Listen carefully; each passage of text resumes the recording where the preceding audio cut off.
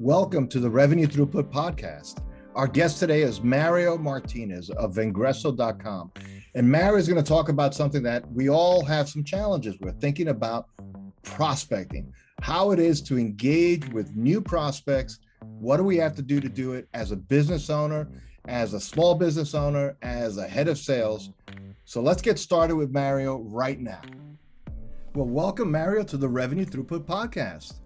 Jose, I'm excited to be here with you. Thank you, my man, for having me. Oh, no, our, our pleasure, because we're going to dig into some pretty deep waters that I know for a lot of people listening to this show, uh, challenges around the area of, uh, of prospecting, of actually just finding new opportunities. So, just for context, for our audience sake, who do you typically work with and how does that look typically? Uh, it's a great question. So, uh, for us, Vengreso, we work with um, small business owners, uh, entrepreneurs, individual sellers, all the way up to large Fortune 100 sales organizations, really helping their sales teams and sales leaders create more conversations and grow their sales pipeline by teaching them how to prospect better, uh, which results in selling more. And our focus is all around the digital selling and digital sales prospecting. So you've got, you know, your traditional cold calling, you've got your emailing, everybody's, you know, got a formula for that we've really focused in on video as well as social and other digital formats for people to be able to create engagement, which is what we call the omni-channel approach to prospecting. Well, well, you know, prospecting is kind of like one of those. Uh, it's like the four-letter word in a lot of circles. A lot of mm-hmm. people are a little bit concerned about how to do it. Often in industrial categories, somebody may have one or two, three salespeople, and they really want the phone to ring inbound and and they said we're so busy doing RFPs and other things, and yet my observation, and perhaps yours has been, is that companies that grow have a commitment to prospecting somewhere in their DNA. So when you talk to an owner, a leader in a business that says, "I don't think I have a prospecting problem," what are some of the questions you ask them to help highlight maybe they do? Hmm. Well, I guarantee that most people do have a prospecting problem. Uh, and the, the, actually data doesn't lie either. Um, so if you actually go back to an article, uh, if you type in, you know, what is prospecting, you'll find Vengreso. And there's a great article that we published. and inside there was a study that we did in June of 2020, and then again in April of 2021. And in June of 2020, we asked business owners, entrepreneurs, sales reps, what was the hardest part of the sales cycle? Was it getting the first conversation, qualifying the opportunity, presenting solution, uh, or closing a deal. And in, in that particular environment, uh, at that time, June, 59% said getting the first conversation was the hardest stage of the sales cycle. Uh, then we fast forward that to the uh, April 2021, and it went up from 59% to 68%. And this was with a audience of uh, roughly about 800 and some odd reci- um, recipients responding to this. So a massive increase and I, it really is a, a, one of the most difficult things, especially now in the digital buying era, where you've got individuals who are being pinged and dinged in every which direction. So um, this be, makes it harder for a seller, a business owner, uh, someone responsible for revenue to be able to get that first conversation. So unless you've got the magic box, as you talked about earlier, where it's just cha-ching, cha-ching, cha-ching, leads are coming in, or you're spending an inordinate amount of, of, of money you know 10 15 20 50000 dollars in ads and you're you know making it up on the back end um, most folks need help with this prospecting area. So when you look at it, then you say well do i have a prospecting problem? The question you have to ask is is uh, do you have enough meetings every single day or every single week that will sustain your current business and grow to where you want it to go then you look at the next part is is do you have a big enough sales pipeline well, what is big enough? Big enough really comes down to if you look at, well, what's your close ratio? If your close ratio is a, a one out of three, uh, a, a, third of every deals, right? Well, every set of deals that come in, well, guess what? You need a 3x pipeline, right? So is your pipeline there? And most of us that are in the small business owners, especially, we um, live the consultant's curse we sell something, we deliver, and then it goes down. We sell something again and we deliver. And every month or every other month, we're like on a roller coaster up, down, up, down, up, down. And what we want to get to is the ability to be able to have that steady flow where we can drive leads directly in. And uh, uh, myself, as the CEO of the world's largest digital sales training company, I've been at this for six years. And almost every day, I get an inbound lead coming in for somebody who wants help and assistance in this particular area. And that's because I've become so pervasive and so prevalent inside of the world of social media, the brand, the information, the content, all those types of things, which can be done, but it takes time to get there. And it certainly won't happen for the common business owner who's, um, you know, not whose focus is not uh, teaching people through social media. Right. So you have somebody listening to this and say, "Yeah, okay, great. So you've been at it six years. You really know what you're doing. Uh, it sounds like you're really dialed into the whole digital, you know, landscape. So you know how to leverage all those tools." And often that owner has had prior investment history. And what I mean by that is they had a firm that did their content marketing based funnels and they spent a ton of money and nothing really came out of it. They had somebody else that teed up their LinkedIn activity and and that kind of came, was interesting, but not a lot. They did PR. They did. They, they're not not spending the money, but somehow it hasn't come together. So is there is there a principle of prospecting that maybe somebody listening to this to say could say, okay, let me start there. Like what's what's the line in the sand that I have to really start with before I start spending all this money doing a, a variety of things because I've tried it all. Yeah, well, that's a really great question. So you mentioned a few things. Number one, I hire somebody to do some content marketing. First off, um, unless you've got a dedicated focus like the way we built ours up, you're not going to go to battle on topics that you're trying to be found for as the small small individual guy, right? Google's just not going to give you the love, especially if you don't have the right domain authority. Um, is it important? Yes, and I'll tell you about that in a second. The second thing you said is, as I hire somebody to do my LinkedIn activities, look, you're taking the lazy way out. Okay. There is no easy path to growing revenue except DIY, do it yourself. And that's really tough for a business owner to hear, uh, uh um, a, a, CEO of a small business, because you wear so many hats. Well, until you get to the point where you can hire a salesperson or two and a sales manager, guess what? Your primary focus, your primary focus must be, and you never take your eye off this ball, is selling.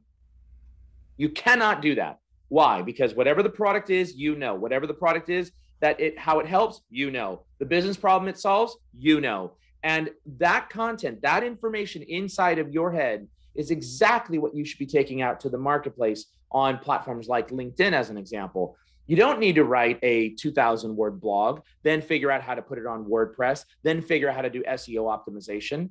No, what you can do is begin to develop a connection strategy with target buyers who you want to go after and then once you've got that connection strategy, you begin connecting with people, you now begin publishing your thought leadership. And every day you be committed to 30 minutes. What are some of the problems that I solve for customers? Take the time to write whatever it is 300 words, 200 characters, whatever the number is, you just write about it and start talking about it on LinkedIn. Then start figuring out strategies as an example to be able to get that amplified. But the bigger your network is with your target buyers and all the individual in people that would be influenced by that, the better your results will be. And that's what's the importance of developing a connection strategy. We forget as business owners that we no longer, Jose, have that big Rolodex sitting right. on our desk. You remember the, Rolodex? Okay. Yeah, the the turning ball, right? We got the A through Z index. Right. I mentioned that to my kids, and they they literally draw blank, like, "What's a Rolodex?" What? Yeah, what is? we, we don't have, and I don't think anybody has that on their desk. And if you do have it on your desk, I guarantee that it's a paperweight right now. Right. With that in mind, where is our Rolodex? Guess what? If you're really smart, it's not in your contacts on your phone. And it's certainly better be synchronized to at least Gmail so that you've right. got a backup copy to it. Where it's at, your digital Rolodex is on LinkedIn. Mm. That is now the Rolodex. It's a digital Rolodex. And that is how we need to be as a connected organization. And frankly, um, most organizations, most business owners will not survive if they do not figure out how to leverage uh, social as a way to be able to engage and video and those types of things. Think, well, yeah, but but there's an owner, and, and I guarantee you, there's this person, and maybe it's somewhat generational, but it's not just generational, that will say something like this. Like I talk to some of my peers, you know, let's say they're part of a peer group or something like that, and they don't spend a lot of time on LinkedIn, and they don't know anyone who does. I've actually heard that kind of expression. So, what do you say to that person? Well, it might be true. So, guess what? You should be using video because guess what? Video is one of the top five global marketing tactics being used right now to lure you into anything. Think about that. What do you stop at on social media? What do you stop at on the billboards? Why do billboards now have video? Digital right. billboards playing on the freeway when you're driving by.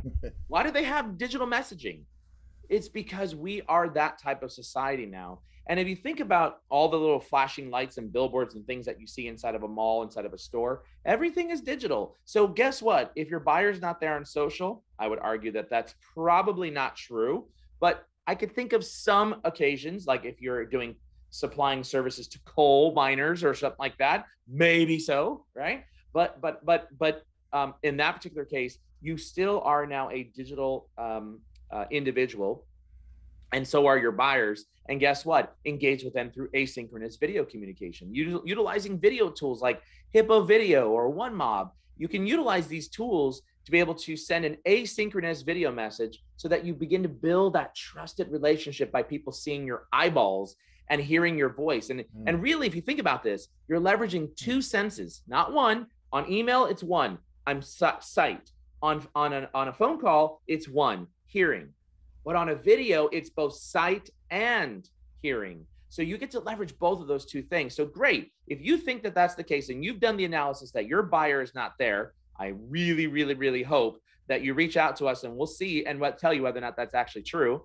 Then don't use social, but you better be using video. Uh, and that is um, what is making everybody tick these days. And just think about um, a lot of products now. Some of the hottest products being purchased on Amazon, as an example, uh, even um, when we think about um, uh, Netflix and Hulu, we don't want to watch a video without a trailer. We don't want to buy a product without a video review. And even now, home buying purchases. Do you know how many homes are now listed with a, a, a video tour, an online video mm-hmm. tour? Right, because we don't want the buyer to to, to uh, because the buyer doesn't want to show up now at the place and say, "Oh my God, this is a total disaster." They want to see it first and then go see the location in person. So I, I would argue that um, as a business owner, look, I'm 45 and older, right? I grew up starting at 19 years old doing software sales as a then telemarketer. I've been in the business for uh, 25 years. And one thing for certain has changed buying has changed.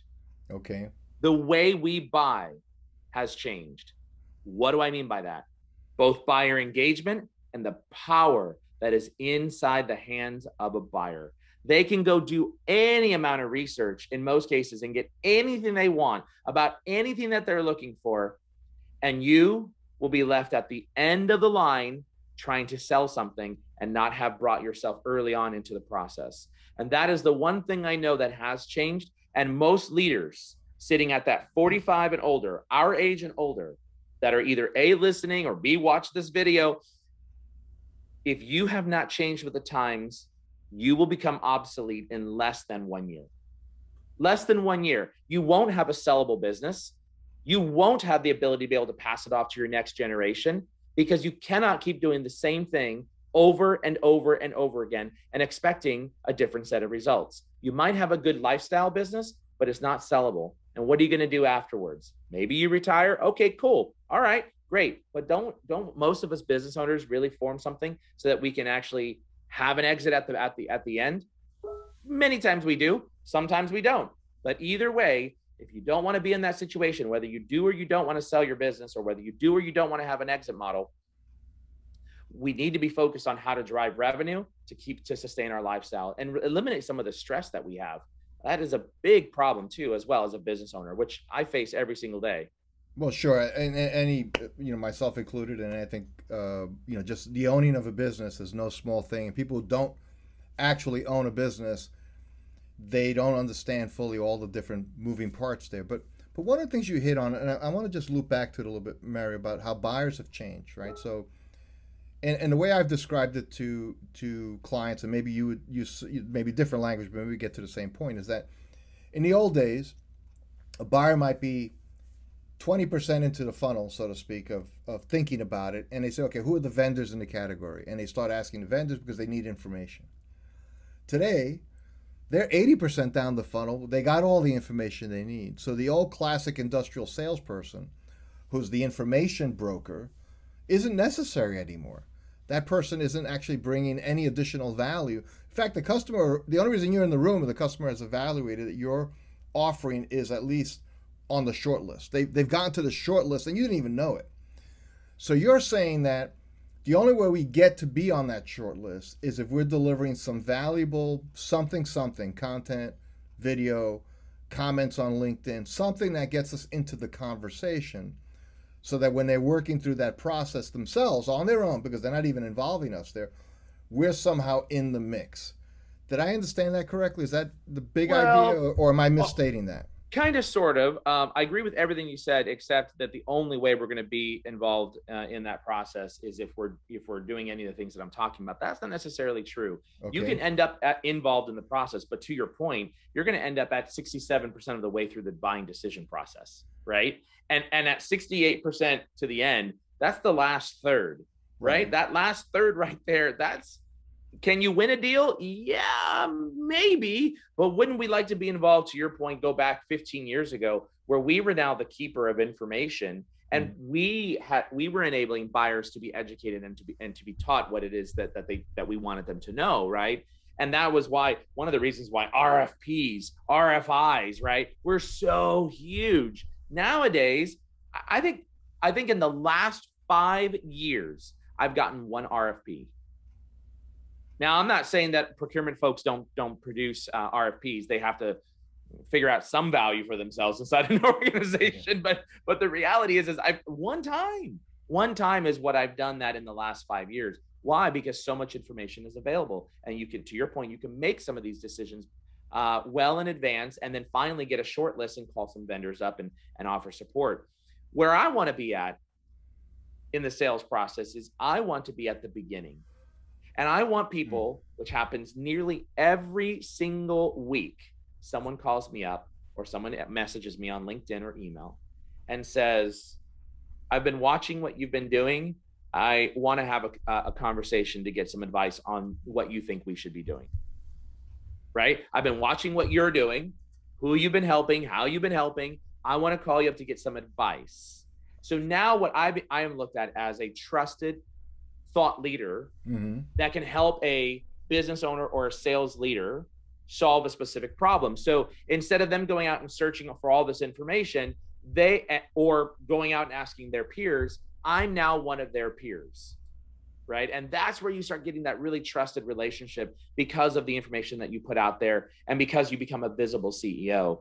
Um, you know, can you can you win without being a visible CEO? Sure, you can if you've got something that nobody else can can deliver right and that's there there are there are many nuances to this so i'm i'm really speaking in generalities sure, when, I, when, I, when i speak about this but the reality is is that the social ceo is the one that will win uh it could be your blessing it could also be your curse. So be careful. Uh, uh, there's certain topics that you want to avoid most most certainly on your on your social platforms. But nonetheless um, we want to try to get in ahead of the curve. We also want to build a connected community, our digital Rolodex, because there is a 60% higher probability that you can get into the door with a potential target through a referral than going at it through cold market. Sure. Right? The referral is king, and that will never change. That has been all for all eternity uh, for that that we have known uh uh, uh, uh, men and that has been documented. People said, "What did you do? Right. Who did you use?" And we want to be that person that is being made uh, for for the referral. Right. It's a, sure. it's the ultimate risk mitigation, right? You're absolutely you're making a large purchase. Like, who did you use? If I trust you and I think you have good judgment, whoever you chose, I feel like you vetted it to some point, so I feel more comfortable with that. So Absolutely. one very last thing here, Mario, just because we're coming up, up to time here. So somebody listening to this and, and watching you and say, okay, Mario, he seems obviously very comfortable in video. This guy probably has tremendous social channels and putting out content, very comfortable doing that. But I'm just like I run a, I run a contract machine shop, right? I do you know I, I turn metal you know for large OEMs. I'm kind of in the in the industrial kind of nitty gritty of it all. I don't think I'm that interesting. So how do I how do I overcome that to be interesting enough that I could be posting and and creating some of these connections you're describing? So here's a here's a, a saying: to be interesting, you need to be interested. It's great. All right. To be interesting, you need to be interested. What does that mean? It means it, it, no matter what you do. And by the way, one of our clients is a 12 person sales force. It is the world's largest vanilla extract producer. okay, we've got the world's largest vanilla extract producer as one of our clients. Who would have ever thought that a vanilla extract manufacturer and distributor, the world's largest, would need digital and video social training? Right? Okay, so here we are. We're, we're, we're, we're here in this environment and the point is, is that they're changing with the times because their buyers, which are scientists, by the way, uh, uh, m- many of their scientists, because they all the little taste testing and the formulas and all that stuff that they have. That's one particular buyer. And then they have another set of buyers. These people are, guess what? They're on social. They're accepting videos. So what I would say to all of those folks is, is you know, um, times have changed. And then the second part is, is if you want to be interesting, you've got to be interested in other people. Uh, and there's a, a, a gal who um, I absolutely love and adore. Her name is Shari Levitin. Um, and she is a, um, a, phenomenal speaker, sales leader, and um, business owner as well. And she um, uh, sent me um, uh, a picture. We, we, we, were, we were both featured in the movie by Salesforce called The Story of Sales. And uh, Salesforce pr- produced the first uh, sales documentary, a movie uh, that's now available to the public um, ever in the world. And they selected 20 sales influencers, and I was privileged to be one of those 20 sales wow, influencers, to be part of that. And Sherry was as well. And um, one of the things I love about her is that she is such a human to human type of person. One day, two years after the event, she sent me a gift. And it was the gift on the anniversary of the story of sales. And it was an hmm. actual I had to turn around and look at it. It was a, a, a beautiful frame, a picture of me posing in front of the monitor story of sales, and a, and the actual um, handout that they handed out at the um, premiere, at the movie premiere, uh, right there in the frame. My gosh, like that was when she did that. I was like, you know, you are human. The, the, the, you are the epitome of to be interest, uh, interest, uh, interesting you've got to be interested. Mm. Uh, and so that that demonstrated really some real thought. Now we don't do that to everybody, of course, all of our buyers, but you get the idea when sure. we've got to reach out and we've got to become interested in other people and how to solve their problem to become interesting to them. That's fantastic. And Mario, we're going to use that as our as a touchstone landing point on this conversation. It's been fantastic. Some great great insights for our listeners. And if somebody listening to this uh, podcast today wanted to know more about you and your work, what's the best way for them to find out more? Uh, well, two spots. First off, you can go to vengreso.com. That's V E N G R E S O, one S. Mm-hmm. Um, feel free to go to vengreso.com. Also, if you're on LinkedIn, I would encourage you to connect with me, but please make sure you send a personalized connection request message and say you heard me on the Revenue Throughput podcast with Jose uh, so I understand who you are and how you found me. So make sure you know how to send a personalized connection request. And if you don't know how to do that, uh, all you have to do is go to Vengreso's YouTube page and look up uh, personalized connection request, and you'll find some great videos there. Well, that's fantastic, Mario. Thank you so much for that. And thank you again for being part of the Revenue Throughput podcast. We appreciate it. You bet, buddy. Thanks for having me.